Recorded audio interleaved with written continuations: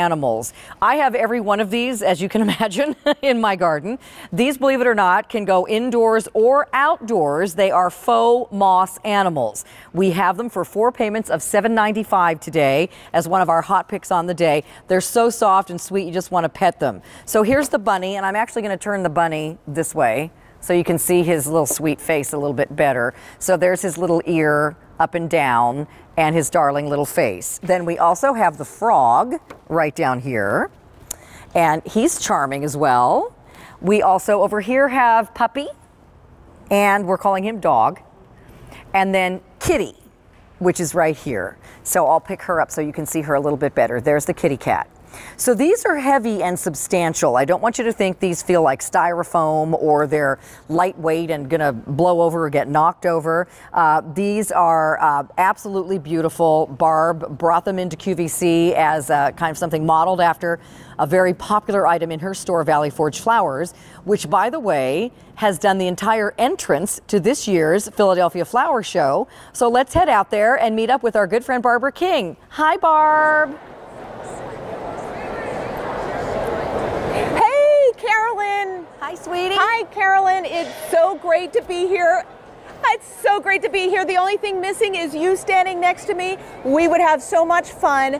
These little critters look adorable in so many of the different gardens that are done around this amazing flower show.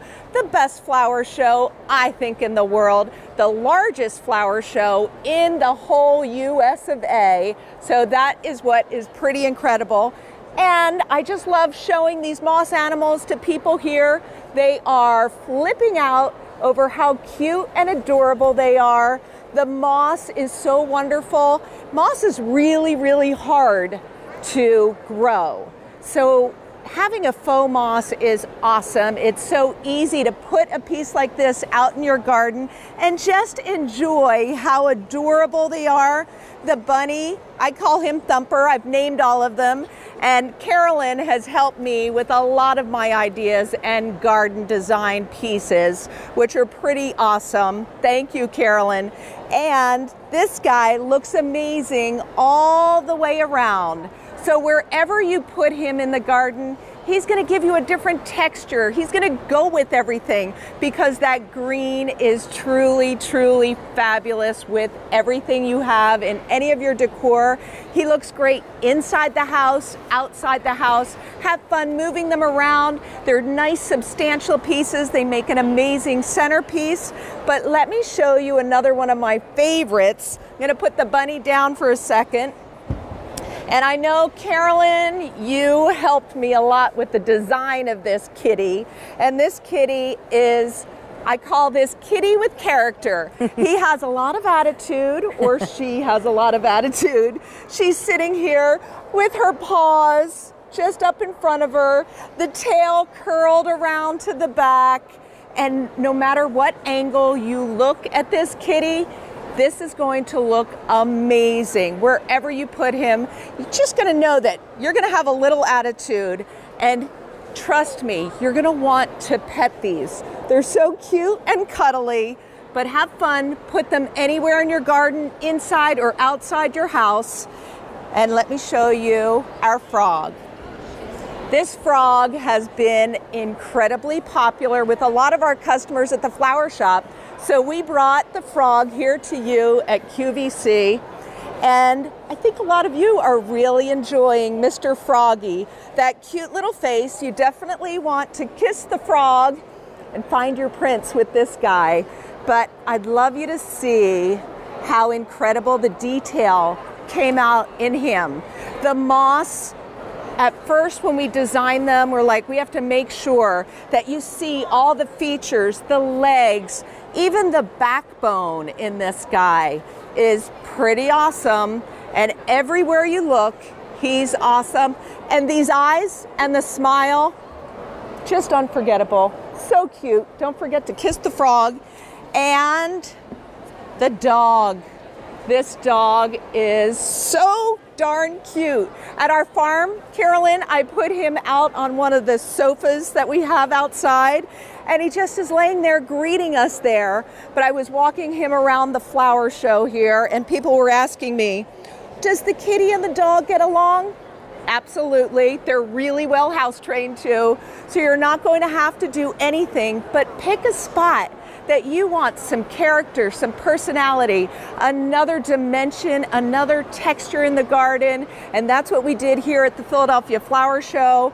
After we designed this with our 40 designers at the flower shop, the designers loved taking these pieces and looking at them in different areas of the garden. It's just so fun. It's a great picture that just makes you happy. How cute are they? Barbara, thank you so much. I just love that lady. She is so classy and so talented. Again, you can visit her in the Philadelphia area at Valley Forge Flowers in Wayne, PA, or today at the Flower Show. So, this is typical of something that she would have in her shop. She has so many beautiful animal things.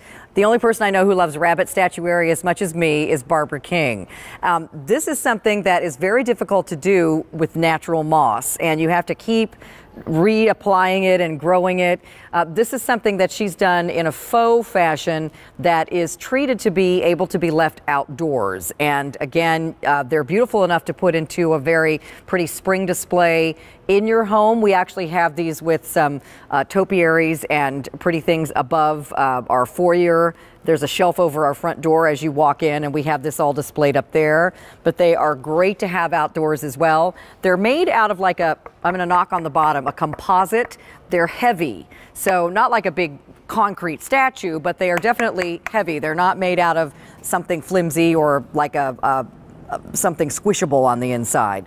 Here's the cat. Once again, Barbara's done a great job of all the beautiful features of the animals. Their paws are the right size.